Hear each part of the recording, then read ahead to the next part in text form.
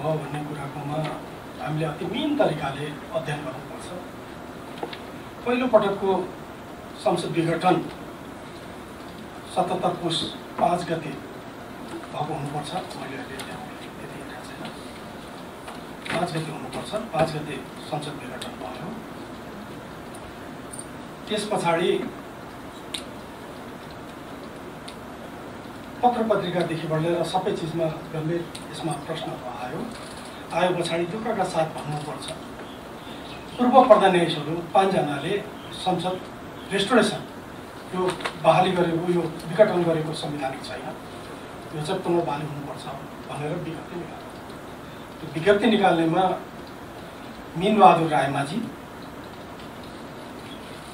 अनुप अनुप राज शर्मा कल्याण श्रेष्ठ त्यसपछि सुशीला कार्की। उहाँहरू चारजनाले यो विज्ञप्ति निकाल्यो यो विज्ञप्ति निकालिसके पछाडि उहाँहरूको विरुद्धमा अब अदालतलाई हस्तक्षेप गर्यो न्याय निरूपणमा यसले हस्तक्षेप हुन्छ यो चाहिँ अदालतको अपिलनामा कारवाही भनेर मुद्दा आयो। उहाँहरूलाई फोकस भयो तारिकमा बस्नुभयो त्यहाँदेखिबाट यो सुरु भएको छ। त्यहाँदेखिबाट यो सुरु भएको छ। अनि यो सबै आएको यो येलो आएको कुरो आएको अब धेरै ठाउँ छ यस्तो कुरा। यो आएको सबै त्यही विज्ञप्ति पछाडिका धारणाबाट यो सबै आयो त्यस पछाडि सर्वोच्च अदालतमा अब गर्ने पछाडि अहिले नौजना अब अहिले मिरा खड्गाजी त रिटायर हुनुभयो।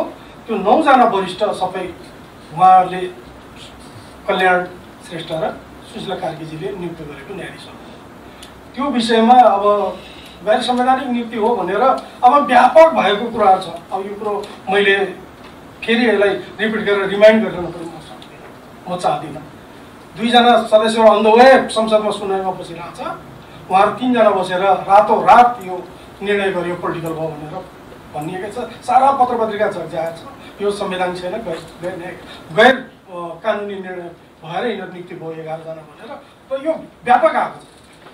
यो जब कल्याण श्रेष्ठजीहरूको मेनबाजीहरूको यो चारजना पूर्व प्रधान न्यायाधीशहरूको यो आयो त्यस पछाडि न्यायाधीश विभाजन भयो। त्यहाँदेखिबाट यो सबै समस्याको जड सुरु भयो।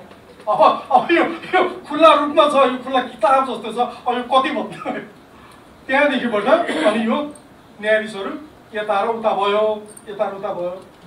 त्यस पछाडि सुशीलाजीको कार्यकाल पछाडि यो एघारजना न्यायाधीशको नियुक्तिलाई बदर गर्नलाई रिट निवेदन आयो। रिट निवेदन आयो।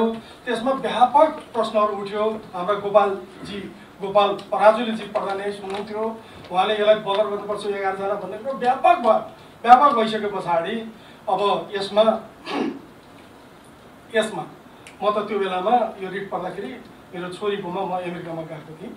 अनि हाम्रा अहिलेका यी वरिष्ठ न्यायाधीशहरूले मलाई फोनै गरेर मलाई बोलाउनु भयो यस्तो यस्तो अवस्था भयो।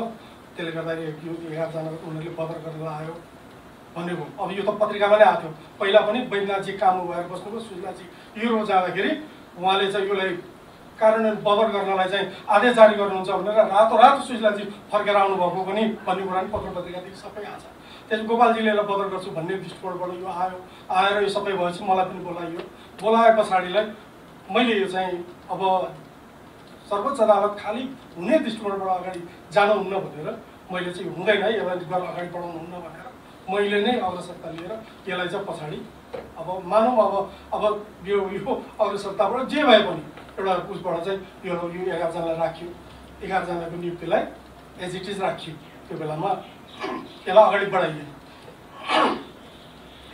त्यहाँदेखिबाट अब यो न्यायपालिकामा अब के भनौँ अब त्यस पछाडिकोमा यो अलिकति एघारजना न्यायाधीश वर्षवार न्यायाधीश भन्ने कुराहरू भइरहेको थियो।